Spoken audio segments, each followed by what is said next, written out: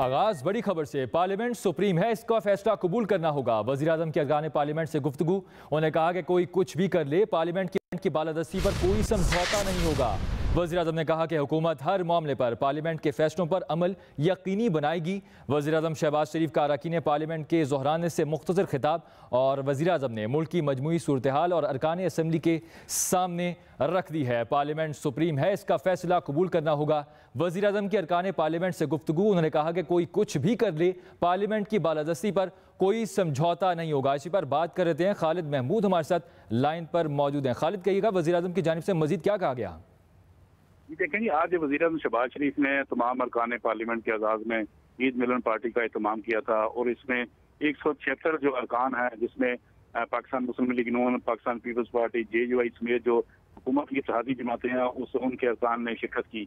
और एक सौ छिहत्तर से ज़्यादा अरकान आज इस ईद मिलन पार्टी में मौजूद थे।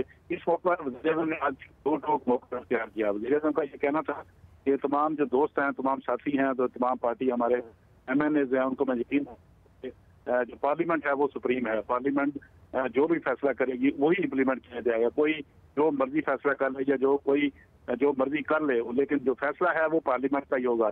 पार्लियामेंट जो फैसला करेगी, वही काबिल अमल होगा।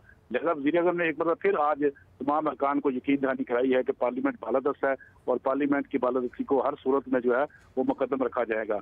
इसके अलावा आसफ अली जरदारी भी आज के दौरान में शरीक थे, जब उनसे हमारी गुफ्तु हुई तो उनको ये कहना था कि बड़ी तादाद में आज यहाँ पे लोग मौजूद थे।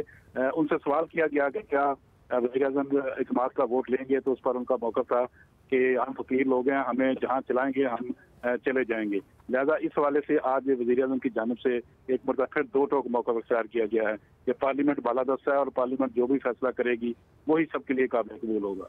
पार्लियामेंट का फैसला काबिल अमल होगा। बहुत शुक्रिया खालिद महमूद।